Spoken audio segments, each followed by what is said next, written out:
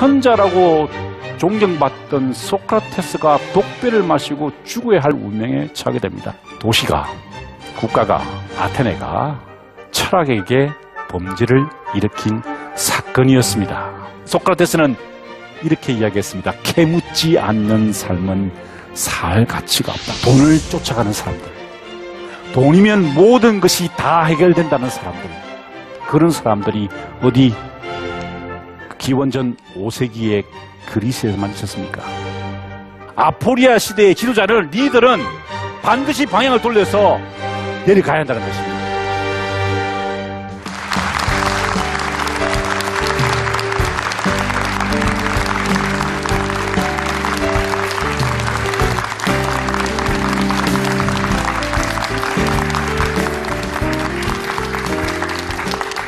아, 반갑습니다. 아, 여러분과 함께 계속해서 아포리아 시대의 인문학이라는 제목으로 어, 공부를 하고 있습니다. 저는 우리 시대를 아포리아의 시대로 규정하였습니다. 이 아포리아 시대는 위기의 시대보다 더 심각한 단계입니다. 위기는 어떻게 해볼 수 있는 단계지만 이 아포리아 상태에서는 어떻게 해볼 수 없는 상태, 어, 길 없음의 상태. 그래서 우리가 이 길 없음의 상태에서 우리 자신을 돌아보고 우리의 무지를 깨닫게 되는 상태를 아포리아 상태라고 합니다. 지금 2014년에 대한민국이 처해 있는 상황이죠. 아포리아 시대의 인문학은 여러분들에게 어떤 효율적으로 어, 노를 저어서 항구에까지 도달하는 방식을 가르치는 것이 아니라 이 아포리아 시대 인문학은 잠시 노를 내려 놓아라고 여러분께 요구하고 있습니다. 잠시 노를 내려놓고 밤하늘에 별을 바라보자는 것입니다. 북극성은 어디에 있고 북쪽은 어디 있고 우리가 지금 어디를 향해 가고 있는지에 대해서 성찰을 해 보아야 한다는 것입니다. 그것이 바로 우리가 아포리아의 시대에 해야 할 인문학이라고 생각을 합니다. 어, 이번이 이제 다섯 번째 시간인데요. 이제 본격적으로 어, 이 아포리아를 극복하기 위한 방법을 제시하는 군주의 거울을 여러분께 소개해 드리도록 하겠습니다. 이제 우리는 네 번째 인물을 만나게 됩니다. 우리 한국에서는 많이 소개되어 있지 않은 인물인데요. 크세노폰이라는 인물입니다.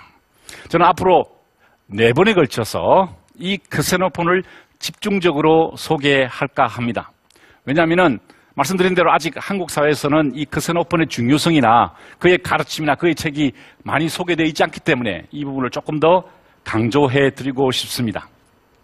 이 크세노폰은요, 그리스의 마지막 군주의 거울을 쓴 사람입니다. 이 크세노폰은 어떻게 보면은 군주의 거울이라는 장르의 최고의 모델이었던 책을 쓴 사람입니다. 바로 키루스의 교육 이라는 책인데요. 아마 여러분에게 좀 낯설은 그런 책일 것입니다. 지금 여기 사진으로 보이는 분은 피터 드러크라고요. 어, 경영 구루로 알려져 있습니다. 경영 이론가죠. 이분께서 이런 말을 한 적이 있습니다. 리더십에 대한 최초이자 최고의 책은 크세노폰이 쓴 키루스의 교육이라는 것입니다.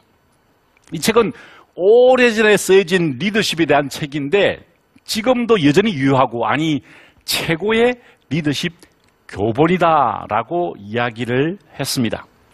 어, 저는 여러분들에게 앞으로 네 번에 걸쳐서 이 키루스의 교육, 키로파에 디아라고 하는 그 키루스의 교육을 여러분들께 집중적으로 소개해 드리고자 합니다. 이 크세노폰은요, 다작했던 작가였습니다. 많은 책을 쓴 사람입니다. 보시는 것처럼 여러 책들이 있는데 그 중에서 어, 제가 소개할 책은 중간 부분에 있는 키루스의 교육인데요. 사실 소크라테스의 생애에 대해서 1차적 자료를 발견할 수 있는 것도 크세노폰의 책입니다. 그리고 그 당시 어, 스파르타와 아테네의 정체, 그러니까 정치 구조에 대한 분석을 할 수 있는 책도 사실 크세노폰이 썼고요. 페르시아와 또 그리스의 군사 체제, 기마술, 뭐 소크라테스에 대한 개인적 자료 이런 것들이 많이 기록되어 있는 책을 쓴 사람이 바로 크세노폰이란 인물입니다. 최근에 책이 한 권 나왔는데 책 제목이 크세노폰 더 소크라틱 프린스라고 되어 있습니다. 마치 크세노폰이 소크라테스의 왕자인 것처럼 그렇게 표현되어 있죠. 사실 그랬습니다. 사실 이 크세노폰이 소크라테스의 총애를 받던 제자였습니다. 어, 디오게네스라는 어, 로마 시대의 역사가가 철학자들의 생애에 대해서 쭉 기록을 했는데요. 그 중에 크세노폰 편을 보면은 이렇게 기록되어 있습니다. 크세노폰은 소크라테스를 동경하였고 그의 충실한 모방자가 되려고 노력했다. 이렇게 기록되어 있습니다. 그러니까 우리는 지금까지 소크라테스의 제자가 알키베아데스 혹시 여러분 기억나십니까? 금발의 사나이 그 나라를 위기로 빠뜨렸던 알키베아데스죠. 어떻게 보면 아테네 악동이었습니다. 어, 소크라테스의 어떤 잘못된 제자라 그럴까요? 그렇게 할 수 있겠죠. 그리고 플라톤이 있습니다. 플라톤은 반대로 굉장히 뭐 좋은 훌륭한 제자라고 볼 수 있겠죠. 우리는 소크라테스의 제자가 플라톤과 알키비아데스, 뭐 좋은 제자와 나쁜 제자 정도만 있는 줄 알았는데 그게 아니라는 것을 알게 되었습니다. 거기에 또 한 명의 제자가 있었으니 크세노폰이라는 인물이었다는 것입니다. 저는 개인적으로 플라톤도 좋아하지만은요, 크세노폰도 참 좋아합니다. 왜냐하면은 플라톤과 크세노폰은 어떻게 보면은 대척점에 있는 사람들입니다. 전혀 다른 입장에서 세상을 바라보았던 인물이죠. 그래서 저는 여러분들께 이 크세노폰을 소개해 드리면서 우리가 세상을 조금 다른 각도에서 한번 봐보자는 제안을 드리고 싶습니다. 아주 흥미로운 여러분들이 아마 처음 보실 그런 구절을 제가 소개해 드리겠습니다. 아까 말씀드렸던 디오게네스가 이렇게 썼습니다. 크세노폰과 플라톤은 서로 호의적이지 않았다. 제자들끼리 서로 사이가 안 좋았던 모양입니다. 그죠? 어, 사실 두 사람은 서로 경쟁 상대처럼 같은 주제의 책을 썼다. 향연, 소크라테스의 변론, 소크라테스 회상록 이런 책을 썼다는 것입니다. 소크라테스가 어, 어떤 삶을 살았는지에 대해서 두 사람이 다른 각도에서 각각 다르게 썼다는 것이죠. 더 놀라운 것은요. 플라톤은 국가를 썼는데 크세노폰은 키루스의 교육을 썼다. 크세노폰은 플라톤을 반박하기 위해 책을 썼다. 이렇게 기록되어 있습니다. 놀랍지 않습니까, 여러분? 아무도 놀라지 않으시는데 굉장히 놀라운 사실이죠. 왜냐하면은 우리는 흔히 그리스, 뭐 어, 소크라테스, 플라톤, 아리스토텔레스 내려오는 그 지적 전통에 대해서 어, 플라톤이 주도권을 쥐고 있는 걸로 생각하죠. 그런데 그 반대 입장에서 크세노폰이 똑같은 주제의 책을 썼다는 것입니다. 플라톤이 썼던 국가와는 전혀 다른 입장에서 세상의 문제점에 대해서 아포리아 상태에 처한 그리스의 문제를 해결하기 위해서 제안을 했다는 것이지요. 자, 이 차이는 어떤 차이였을까요? 이런 차이였습니다. 플라톤은요, 숙고하는 삶. 아니, 그가 철학자다 보니까 그의 글은 숙고의 결과였습니다. 라틴어로 그것을 비타 콘템플라티바라고 하는데요. 고뇌해서 사색해서 이 아포리아를 극복하려고 책을 썼다는 것입니다. 플라톤의 국가는 그런 책이었습니다. 그런데 크세노폰의 책은 달랐다는 거죠. 크세노폰은 다른 각도에서 문제를 바라보았습니다. 어떤 각도였을까요? 활동하는 삶이었습니다. 크세노폰의 글은 숙고하고 혼자서 고뇌해서 쓴 글이기도 하지만 무엇보다 그의 글은요, 그의 통찰력은 그의 경험에서 우러났습니다.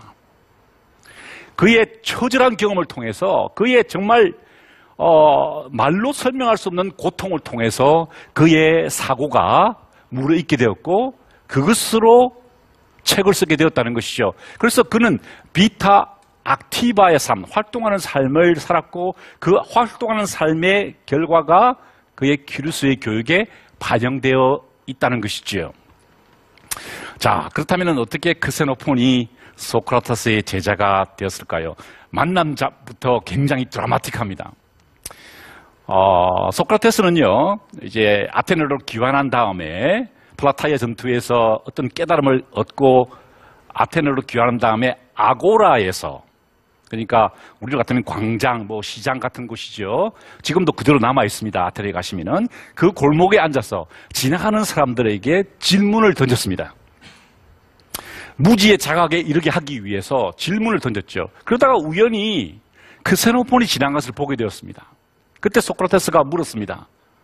젊은이, 채석가기는 어디 있는가? 라고 물었습니다. 그랬더니 이 크세노폰이 어, 그 유명한 소크라테스 선생이 자기에게 어, 채석가게가 어디 있냐고 물으니까 아, 예, 선생님. 채석가게는 저 골목으로 들어가셔서 왼쪽으로 끝까지 있습니다. 라고 대답을 했습니다. 그랬더니 소크라테스가 그 크세노폰을 빙긋이 웃으며 바라보더니 이렇게 물었습니다. 그렇다면 젊은이, 탁월한 사람은 어디서 찾을 수 있는가? 크세노폰이 어리둥절했습니다. 이게 무슨 말이지? 잘 몰라서 어, 주빗주빗 하고 있을 때 소크라테스가 이렇게 이야기했습니다. 자네는 나를 따라오게 내가 자네를 가르치겠네 라고 하면서 그의 첫 만남이 그 둘의 첫 만남이 일어났다고 합니다. 그 이후부터 크세노폰은 소크라테스의 말을 받아 적고 그의 행동과 삶을 관찰하게 됩니다.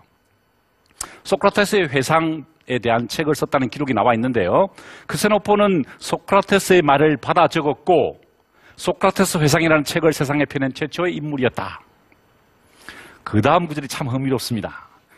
또한 그는 철학자들 가운데 최초로 역사물을 쓴 사람이기도 하다. 점점 재밌어지지 않습니까? 저 소크라테스의 제자가 되었다가 소크라테스의 기록을 남겼어요.